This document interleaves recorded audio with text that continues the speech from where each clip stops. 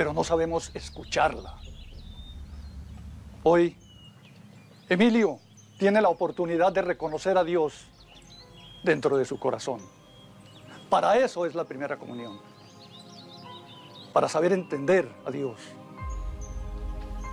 Afortunadamente, Emilio inicia hoy este camino de una vida, de un mundo lleno de pecado y de vicio.